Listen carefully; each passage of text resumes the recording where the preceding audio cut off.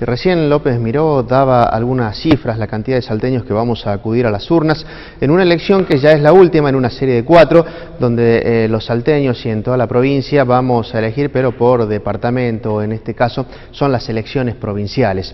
Eh, este próximo domingo, nuevamente con la modalidad del voto electrónico, eh, los salteños vamos a elegir 30 candidatos a diputados, 12 senadores y en el caso de la ciudad de Salta Capital se va a renovar la totalidad del Consejo Deliberante.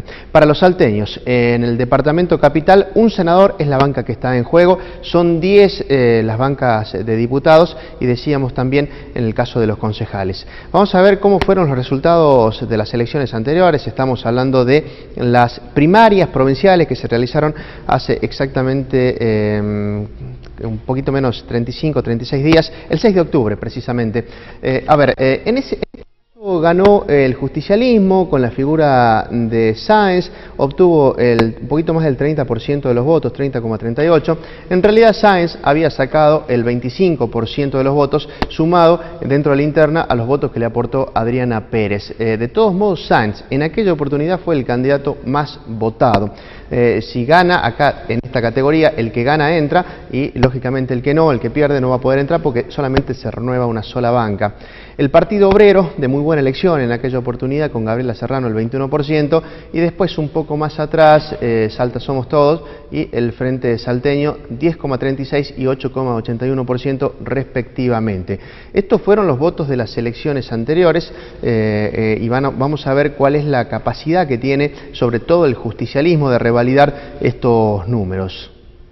En la categoría de diputados, Manuel Santiago Godoy también eh, fue eh, uno de los candidatos que más votos sacó eh, en la suma total del justicialismo, porque Godoy ganó solamente con 12.000 votos, apenas el 4,5% del total muchos votos fue el Partido Obrero que sacó el 20,69%. De todos modos, hay, como fue una interna la que presentó el justicialismo, se hace la sumatoria y Godoy va a ser el que va a terminar encabezando seguido de Abel Ramos en segundo término por haber salido justamente segundo dentro del sistema DON de la interna justicialista.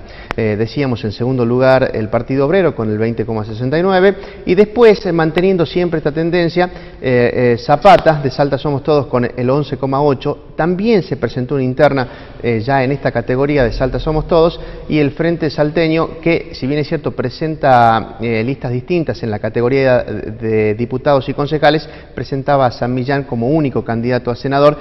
De todos, el más votado fue Javier David con un poquito más del 6%. Y concejales, en concejales hubo más paridad. En el primer lugar, el Turi Rodríguez fue el candidato más votado y las sumatorias llegaron dentro del justicialismo al 25%.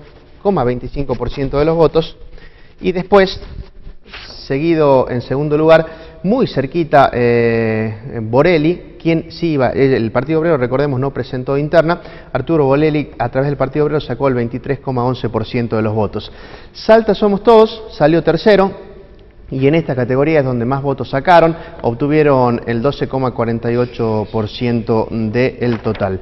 Bueno, ahí va a estar la disputa entonces eh, para que se pueda eh, tener en claro lo que se vota el domingo. En el caso de senadores, el que sale primero gana. Todo indica que la discusión va a estar entre Gustavo San y Gabriela Serrano del Partido Obrero. Eh, todo indica también que en la categoría de diputados el Partido Obrero puede realizar una muy buena elección y habrá que ver qué pasa con eh, Santiago Godoy y Javier David, que encabezan dentro del Partido Justicialista del Frente Salteño, y en la categoría de concejales también todo parece indicar eh, que la discusión va a estar entre estos partidos, eh, el Partido Obrero, el Partido Justicialista eh, y el Frente Salteño, sin descartar que se espera también una buena elección pareja en todo el territorio provincial de Salta Somos Todos, debido a que Alfredo Olmedo ha dejado consolidado un voto, no solamente en la capital, sino principalmente en el interior de la provincia. Nosotros el domingo a partir de las 6 vamos a estar con el escrutinio, con la jornada electoral y también ir conociendo los resultados a medida que vayan apareciendo.